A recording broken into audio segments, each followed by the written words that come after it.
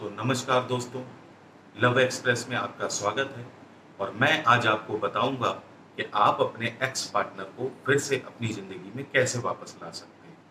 क्योंकि ex partner को अपनी ज़िंदगी में वापस लाना, लोग सोच लेते हैं कि बहुत टिपिकल है, बहुत कठिन है, ऐसा नहीं हो सकता, हम नहीं कर सकते, लेकिन ऐसा कुछ भी नहीं है।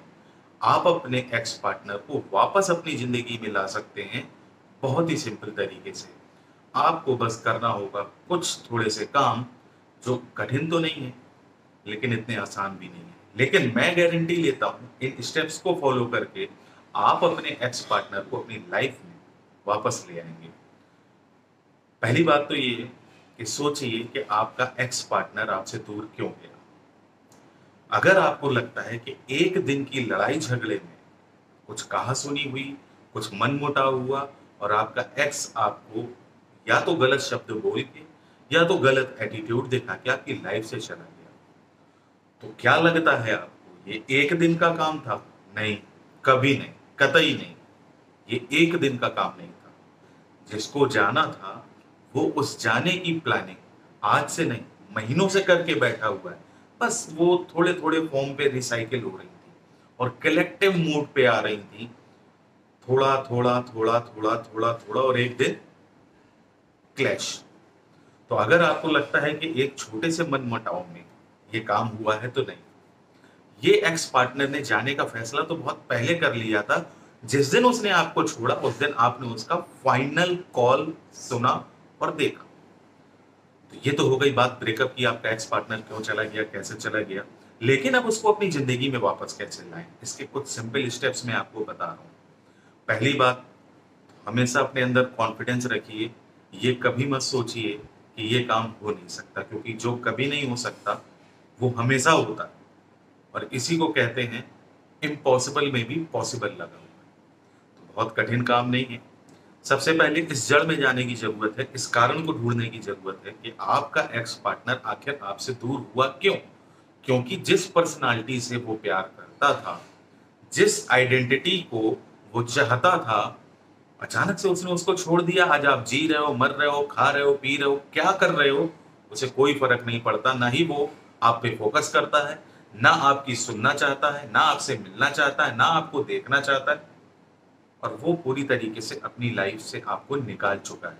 और आपको क्या लगता है? फिर से हम मिन्नते कर लेंगे, पैर पकड़ लेंगे, गिड़गिड़ा लेंगे, अपनी गलती मान लेंगे, अपनी सेल्फ रिस्पेक्ट की धज्जियाँ उड़वा लेंगे।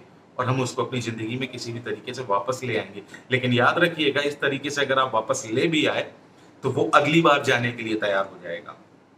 और फिर किसी ना किसी बहाने से चला जाएगा। तो काम वो करिए जो फॉर आपकी मदद करे। तो अपने एक्स को वापस ज़रूर लाइए, लेकिन ऐसे जिससे वो आपको फिर कभी छोड़ के ना जाए। इसके लिए आप समझिए कि जब आप रिलेशनशिप में नए नए आए थे वो लड़का लड़की कोई भी हो सकता है। अगर आप लड़का हैं तो लड़के की तरह इस वीडियो को समझ लीजिए, और अगर लड़की हैं तो लड़कियाँ अपने लिए इस वीडियो को समझ लें। जब आप रिलेशनशिप में नए नए आए थे तो उस रिलेशनशिप में नए आने पे आपकी एक आइडेंटिटी हुआ करती थी, आपके कुछ थॉट प्रोसेस हुआ करते थे, आपका भी कुछ मानना होता था, आपका भी एक एटीट्यूड था, ये काम करना है तो करना है, नहीं करना है तो नहीं करना है। बट रिलेशनशिप में आने के बाद धीमे धीमे धीमे धीमे आप अगले के कदमों में झुकते चले गए। अपनी सेल्फ रिस्पेक्ट आपने खत्म करा ली, आपको कोई फ़र्क नहीं पड़ता कि सामने वाला आपके लिए क्या गलत इमेज बनाता चला जा रहा है और आपको लग रहा है कि अब तो ये मुझे कभी छोड़ के जाएगा नहीं या छोड़ के जाएगी नहीं। तो दोस्त, आपने अपनी आइडेंटिटी ही खो दी है। जिससे उसने प्यार किया था, वो तो कोई और बंदा था, या बंदी थी। कोई और लड़का लड़की आप जो आज हो, वो वो है ही नहीं जिससे उसने प्यार किया था। इसीलिए उसने आपको डंप किया, आपको छोड़ के चला गया। तो अब आपको करना ये है कि पहले तो गिड़गिड़ाना, टेक्स्ट पे टेक्स्ट करना, एक बार वहाँ से जवाब आ भी जाए तो पैराग्राफ लिख के भेजना बंद कर दीजिए। उसके बाद सबसे पहले अपने आप पे काम करिए, किसी के पीछे मत जाइए, बिल्कुल मत जाइए, सारे काम रोक के, उसके पीछे जाना, उसको देखना मिलना सुनना सब बंद। देखिए, जिसको आप ऑलरेडी इम्प्रेस कर चुके हैं, उसको दोबारा इंप्रेस करने में कितना वक्त लगना है? और जो आपसे पहले एक बार अट्रैक्टिव हो चुका है, आपकी तरफ़ अट्रैक्ट हो चुका है, उसको आप दोबारा अट्रैक्टिव लगोगे और वो आपकी तरफ़ फिर अट्रैक्ट हो जाएगा। लेकिन आप इस अट्रैक्ट वाली पॉलिसी को करने की बजाय, किसी को अपनी ओर अट्रैक्ट करने की बजाय, आप भीख मांगना चालू कर देते हो, गिड़गिड़ाना चालू कर देते हो। तो आप सही कारण का पता तो लगाते नहीं तो सही कारण का पता लगाने का सबसे बढ़िया तरीका है कि सबसे पहले सारे कॉन्टेक्ट क्लोज कर दीजिए। नो कॉन्टेक्ट जोन पे बनाइए नो कॉन्टेक्ट रूल को अपनाइए और किसी भी तरीके का कॉल टेक्स्ट मैसेज करना बंद कर दीजिए, पूरी तरीके से। दूसरी चीज़, आप हमेशा उसके सामने एक ही हेयर स्टाइल पे जाते हैं, आप एक ही जैसे कपड़े पहनते हैं, आप एक ही जैसे जूते पहनते हैं बोलने में आपकी कोई क्वालिटी नहीं रह गई है, जो मन में आया बोल दिया तो आपको अपने आप पे काम करना है। पहला स्टेप ये है कि नो कांटेक्ट दूसरा स्टेप ये है कि आपको अपने आप को चेंज करना है। वो चेंज कैसे करना है? सपोज़ करिए, जो कपड़े आप हमेशा उसके सामने पहनते थे, उन कपड़ों को उठा के एक कोने पे रख दीजिए। वो कपड़े अब आपको पहनने ही नहीं अब आपको नए कपड़े पहनने या वो कपड़े पहनने जो उसने कभी देखे अभी मैं आपका कांटेक्ट फिर से उससे कराऊँगा, लेकिन पहले कांटेक्ट कराने के पहले आप तो बेहतर हो जाओ, ताकि आप उसको अपनी ज़िंदगी में वापस ला सको। तो आप सपोज़ करिए ये कोट पहन के मैं हमेशा जाता था उसके सामने। अब मैं इस कोट को ही साइड कर दूँगा, मैं टी शर्ट पहनूँगा, मैं शर्ट पहनूँगा, मैं कुर्ता पैजामा पहनूँगा, मैं कुछ भी ऐसा लुक बनाऊँगा जिसको उसने देखा ना हो, अपनी हेयर स्टाइल चेंज करिए। अपनी हेयर स्टाइल चेंज करिए। अपने लुक्स पे ध्यान रखिए। उसको बेटर बनाइए और उसको ये दिखाइए, कब दिखाइए? अपने आप को बेटर करने के बाद। कि मैं अब वो नहीं रहा। लेकिन ये बात आपको जाके नहीं बोली ये आपके फ्रेंड्स खुद अपने आप बोल देंगे। ये उसको अपने आप पता लग ही जाएगा। आप सोचोगे, लो, अब उसको तो कौन बता नहीं जाएगा? ऐसा नहीं होता, मेरे भाई, मेरे दोस्त, मेरी भाई, मेरी बहन, ऐसा नहीं होता। सब कोई एक दूसरे के बारे में, आप उसके बारे में पता रखते हो कि नहीं रखते हो? डायरेक्टली इनडायरेक्टली भले ही आपको फ़र्क पड़ रहा है और उसको नहीं पड़ता है, लेकिन कहीं ना कहीं से हिंट और कुछ ना कुछ तो पता चल ही जाता है। तो जब आपका फ्रेंड सर्किल या आपकी एक्टिविटी या आपके स्टेटस पता चला वो छोड़ के गया या गई आपने सैड स्टेटस लगाना चालू कर दिए हाँ? मातम मनाना चालू कर दिया, रोना गिड़गिड़ाना चालू कर दिया फ्रेंड सर्किल फ्रेंड जोन में बात करना चालू कर दिया, यार, वो तो मेरे को धोखा दे गई, यार, वो तो मेरे को धोखा दे गया। सब कुछ बंद। अपने ऊपर काम करिए, अपनी पर्सनालिटी अपने लुक्स पे काम करिए। जो लोग जिम नहीं जाते थे, वो जिम जाएँ एक्सरसाइज करें। ये ऐसे काम है जिनको करने पे आपका माइंड भी डाइवर्ट होगा वहाँ से, और आप अपने आप को बेटर बनाएँगे। और जब उस इंसान को ये ऑलरेडी पता लग जाएगा कि उसके फ़र्क पड़ने ना पड़ने से आपको कोई फ़र्क नहीं पड़ता।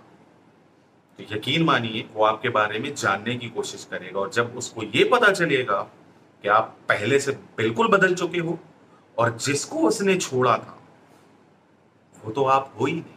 आप तो एक नई पर्सनालिटी और जब आप नई पर्सनालिटी बन जाओगे ना तो खुद आपके पास आ जाएगा। लेकिन जब वो आपके पास आएगा तो आपको ये नहीं, अरे अरे ये तो मैंने तुम्हारे लिए किया था, मैं तो तुम्ही को दिखाने के लिए कर रहा था, मैं तो तुमको फिर से घुटने पे मत चले जाना। अपनी सेल्फ रिस्पेक्ट को फिर से मत गिरा देना।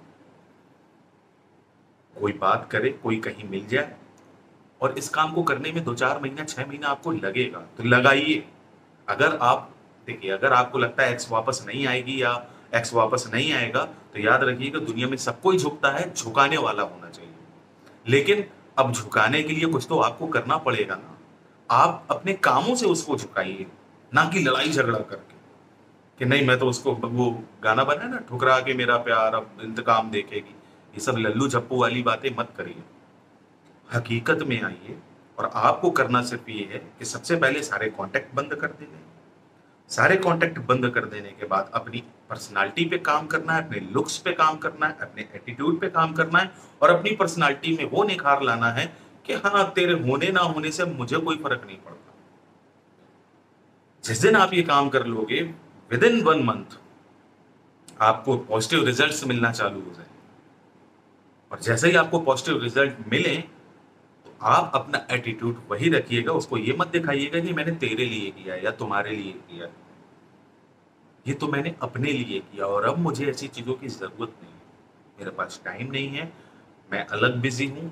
अगर कोई मिल भी जाए कैजुअल मीटिंग भी हो जाए या कोई आपसे हालचाल पूछे तो बस आप भी हालचाल, हाय हेलो का जवाब, हाय हेलो से देके साइड। कभी अपने पार्टनर की बुराई मत करिए, चाहे वो एक्स हो या करंट का पार्टनर हो। क्योंकि करंट का पार्टनर भी शायद खुदा ना करे, भगवान ना करे, लेकिन कल को जाके एक्स बनेगा ना। मेमोरीज हमेशा सब कॉन्सियस माइंड पे रहती हैं। यादें हमेशा दिल पे रहती हैं। आप भी आँख बंद करते वक्त या जब भी खाली होते होंगे। फ़िलहाल तो आप तो उसके पीछे ही पड़े हो तो अभी ये पीछे पीछे पड़ना बंद कर दो।